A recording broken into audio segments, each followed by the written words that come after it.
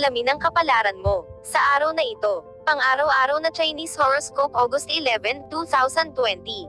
Bago natin umpisahan ang video na ito please don't forget to subscribe, and hit the notification bell para updated kapag may bago akong video na i-upload. Maraming salamat! Abangan ang special shoutout pagkatapos ng video na ito. Maging maingat sa iyong paligid. Ayon sa kalendaryo ng China, ang araw ng aso ay nailalarawan sa isang kapaligiran ng universal na pag-unawa. Sa Martes, maaari kang bumuo ng mga relasyon sa mga kaibigan at kasamahan. Maging mapagbigay gawin ang unang hakbang sa pagkakasundo. Tangkilikin ng pangaakit at pakikipag-chat, ang horoscope ng China para bukas ay walang nakakakita ng pag-aalala. Ang impluensya ng Yang Fire ay tutulong sa iyo na gumawa ng isang hindi may iwasang impression sa kabaligtaran. Huwag mahiya, ipakita ang lahat ng iyong pinakamahusay na mga katangian. Ang mga sakit ay dumadaan kung regular kang mag-ehersisyo. Ang oras ng kuneho ay kanais-nais para sa pag-iwas sa sakit sa cardiovascular. Tumutulong ang mga klase sa yoga na mapabuti ang sirkulasyon ng dugo at gawing normal ang presyon ng dugo. Kung nais mong palakasin ang iyong posisyon sa mga lupon ng negosyo, sundin ang mga rekomendasyon ng horoscope ng Chino, ang mga magagandang bagay ay nagsisimula ng maliit. Mamuhunan sa iyong sarili, kumuha ng mga advanced na kurso sa pagsasanay. Rat Horoscope Ang horoscope ng Chino para sa daga bukas ay nagpapayo upang mapigil ang kanyang kagandahan. Huwag ipailalim sa mga pagsubok ang unyon ng pamilya para sa mga panandaliang pagnanasa may posibilidad ng exacerbation ng mga sakit ng cardiovascular system. Ang oras ng dragon ay hindi naiiba sa pagiging matatag, huwag maglagay ng mga espesyal na pag-asa dito. Ang light aerobic ehersisyo ay makakatulong sa pamamahala ng stress. Minsan sulit ang pagsakripisyo ng maliit upang makakuha ng higit pa. Sa pagtaguyod ng isang karera at gawa, alalahanin ng pangunahing bagay, sabi ng horoscope ng China, ang mga problema ay darating kapag ang mga tao sa kanilang katamarin ay nakakalimutan na alagaan ang kanilang sarili. Ox Horoscope Ang horoscope ng China para sa Ox bukas ay nangangako ng isang pagtaas ng interes mula sa kabaligtaran.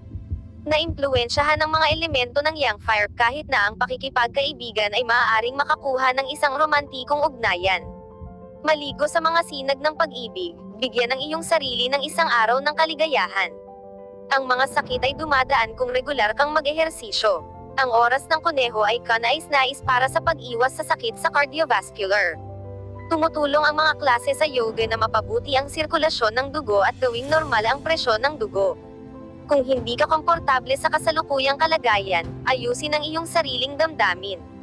Kapag gumagawa ng mga pagpapasya, gagabayan ng rekomendasyon ng Chinese horoscope, ang isang karapat-dapat na tao ay hindi sumusunod sa mga bakas ng ibang tao. Tiger Horoscope Ang horoscope ng Chino para sa Tiger bukas ay hindi ibubukod ang pag-aakit at pag-ibig sa mga kwento sa trabaho. May posibilidad ng exacerbation ng mga sakit ng cardiovascular system.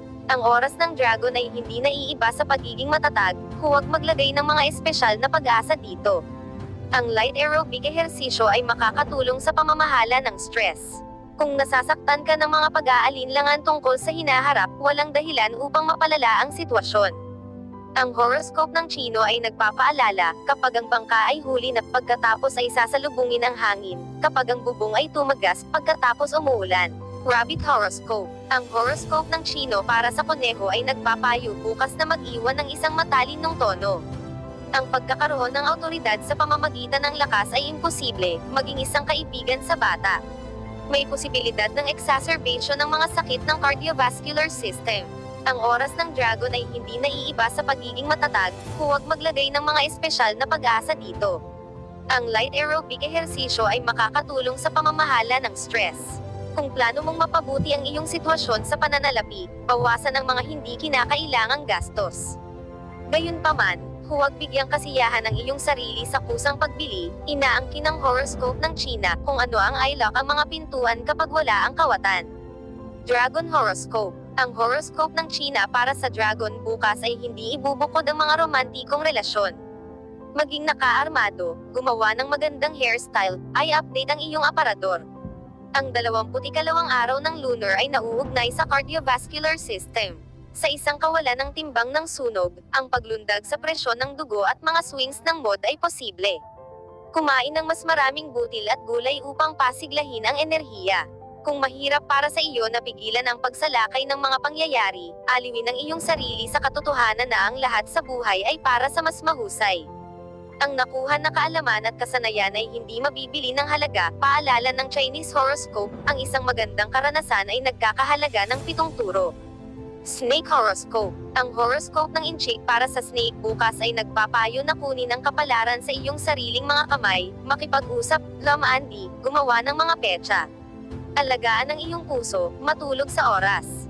Ang espiritual na enerhiya ng oras ng ox ay may pagkahilig na makapagpahinga at magpahinga.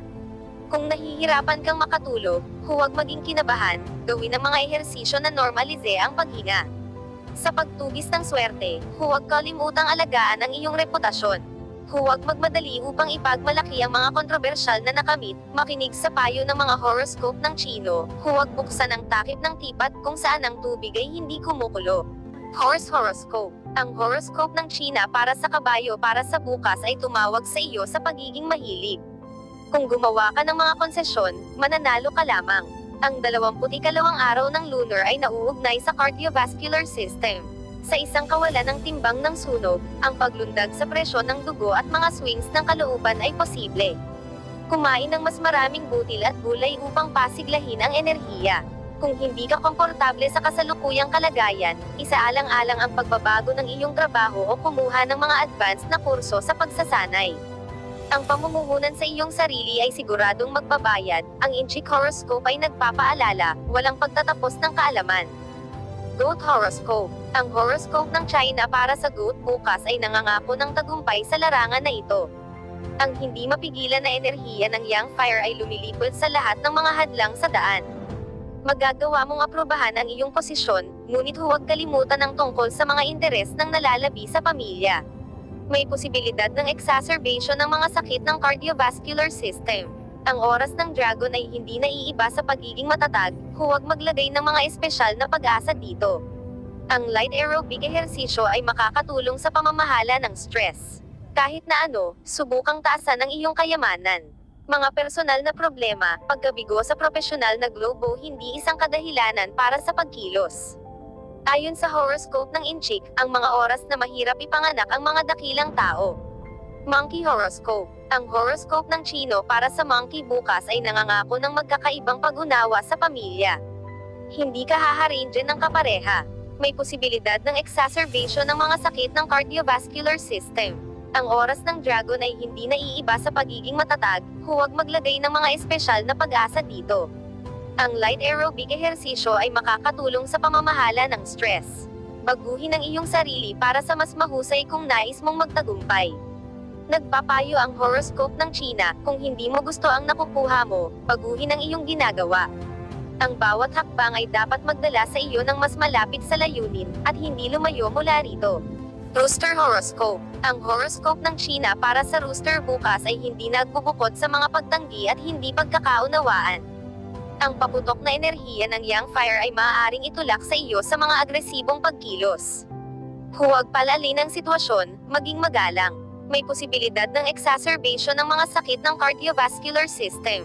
Ang oras ng dragon ay hindi naiiba sa pagiging matatag, huwag maglagay ng mga espesyal na pag-asa dito. Ang light aerobic ehersisyo ay makakatulong sa pamamahala ng stress. Maaari mong kapansin-pansin ang pagsulong sa profesional kung magpakita ka ng pagbabata. Ang tagubili ng Inchik Horoscope, maingat na kumikilos, marami kang makamit, sige, at isang bagay ay mahirap makumpleto. Dog Horoscope Ang horoscope ng Chino para sa aso bukas ay hindi ibukod ng isang romantikong petsa kasama ang lahat ng mga kahihinatnan na kahihinatnan. Matapang na aminin ang iyong nararamdaman. Maging matulungin sa iyong kalusugan, kapaki-pakinabang na uminom ng mga herbal teas sa 22 lunar day. Ang elemento ng sunog ay nauugnay sa maliit na bituka, kasama ang kakulangan nito ay may mga problema sa panunaw. Gumawa ng rosemary tea sa gabi. Kontrolin ang iyong mga salita at huwag masyadong pag-usapan kung ayaw mong makapunta sa isang mahirap na sitwasyon.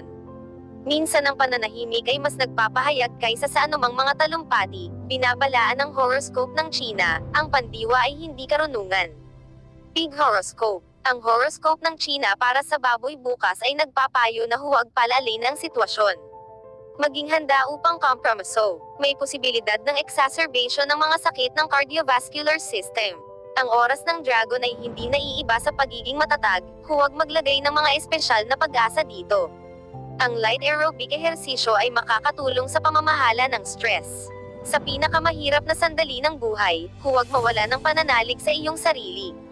Kung ang tukso na isumite sa kalooban ng kapalaran ay napakahusay, kumuha ng payo ng horoscope ng Chino, maaari mong hugasan ang dumi sa iyong mukha, hindi mo mahuhugas ang dumi sa iyong puso. Special shout out to the following. Special shout out kay Ma'am Jocelyn Tenido, watching from New Jersey. Thank you for watching, Ma'am. Special shout out kay Ma'am Ellen Seth. Thank you for watching, Ma'am. Special shout out kay Ma'am Narcisa Aldan. Thank you for watching, Ma'am. Special shout out kay Ma'am Rose Malantik, watching G from Saudi Arabia. Thank you for watching, Ma'am. Special shout out kay Ma'am Seiko Oshima, watching from Japan. Thank you for watching, Ma'am. Special shout out kay Sir Giancarlo Sarmiento. Thank you for watching, Sir. Special shout out kay Ma'am Heisman Daclasin. Thank you for watching, Ma'am. Special shout out kay Ma'am Divina Hala, at happy birthday po sa iyo, Ma'am. Wish you all the best and more birthdays to come. Thank you for watching, Ma'am. Special shout out kay Ma'am Margarita Miguel Manalo. Thank you for watching, Ma'am. Special shout out kay Ma'am Magnaya Diana Rose. Thank you for watching, Ma'am. Kung gusto mong magpa-shoutout sa next video comment na. Maraming salamat sa panonood mga kapatid. Sanay nagustuhan nyo ang video na ito, please don't forget to subscribe and hit the notification bell para updated ka pag may bago akong video na i-upload. See you on my next video.